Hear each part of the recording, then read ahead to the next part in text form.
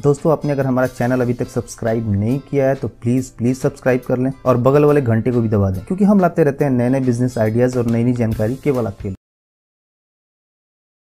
तत्कालिक समय में विभिन्न स्थानों पर कई तरह के होटल खोले जा रहे हैं। बड़े बड़े लॉन्च में विवाह रिसेप्शन जन्म दिवस आदि को मनाया जाने लगा है। पार्टी मनाने वाले स्थानों पर देखा जाता है कि खाना खाने के लिए सिल्वर पेपर से बनी थाली का प्रयोग किया जाता है।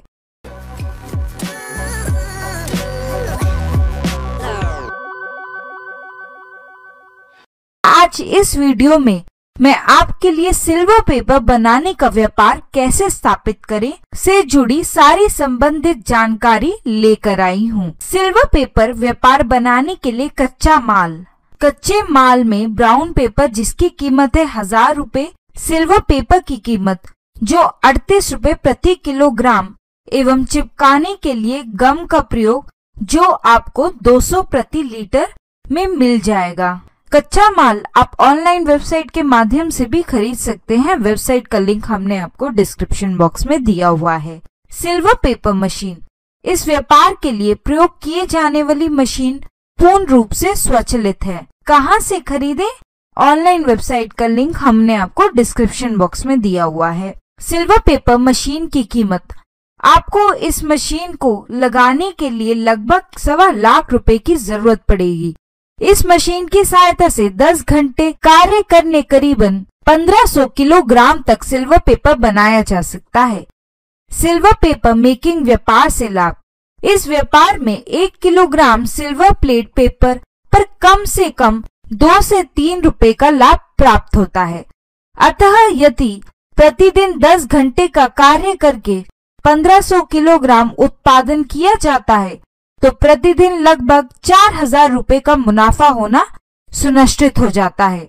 यदि महीने के सभी अन्य खर्चे निकाल दिए जाएँ, तो प्रति महीने लगभग साठ हज़ार रूपए तक का मुनाफा प्राप्त कर लेना संभव है।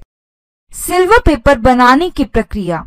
सबसे पहले ब्राउन पेपर रोल को इस मशीन में ऐसे लगाया जाता है कि पेपर कहीं से मुड़ अथवा फट ना जाए। इस मशीन के ऊपर से सिल्वर फॉइल का रोल जुड़ा हुआ होता है। इस फॉइल को भी मशीन की उसी हिस्से में लगाया जाता है जहाँ पर ब्राउन पेपर का रोल लगा होता है। दोनों पेपर कुछ इस तरह से लगे हुए होते हैं कि बाहर निकलने के बाद एक दूसरे से पूरी तरह से चिपके हुए हों।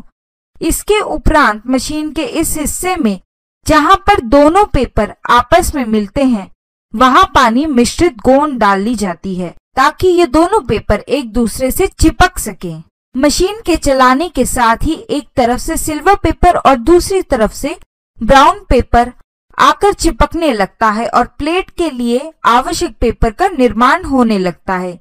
इसके बाद इस बने हुए पेपर का प्रयोग आप विभिन्न पनावली बनाने के लिए कर सकते हैं। पेपर व्यापार के लिए आवश्यक स्थान। इस व्यापार के लिए मध्यम आकार की मशीन को लगाना होता है, जिसे 100 से 150 स्क्वायर फीट स्थान की आवश्यकता पड़ेगी ताकि मशीन को बिना किसी अवरोध के चलाया जा सके। हालाँकि इसमें प्रयोग होने वाले सिल्वर पेपर और ब्राउन पेपर को रखने के लिए तथा बनने के बाद प्रोडक्ट को रखने के लिए भी जगह की आवश्यकता होती है। अतः आपके पास अगर 250 वर्ग फीट का स्थान उपलब्ध है तो इस व्यापार को आरंभ करने के लिए वो बेहतर होगा। व्यापार की जगह का चुनाव वहाँ गाड़ियाँ के आयात निर्यात में सुविधा को देखते हुए करें। सिल्वर पेपर पैकेजिंग कैसे करें?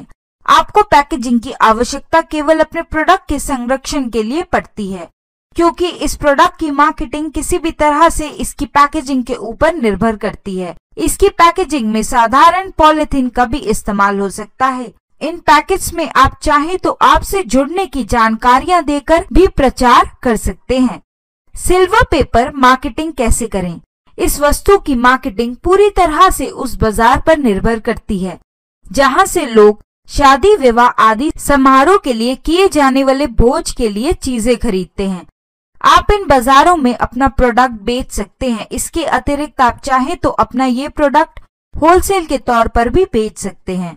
सिल्वर पेपर बनाने के लिए लाइसेंस लाइसेंस की आवश्यकता तो इस व्यापार में पड़ती है, ताकि आपके प्रोडक्ट के लिए लोगों की विश्वसनीयता बनी रहे। आप चाहें तो अपने व्यापार, स्थान का पंजीकरण भारत सरकार के एमएसएमई के ज़रिए भी आधार कार्ड के माध्यम से कर सकते हैं। दोस्तों, अगर आपको कुछ भी पूछना हो, इस वीडियो के बारे में आप हमारे कमेंट बॉक्स में पूछ सकते हैं।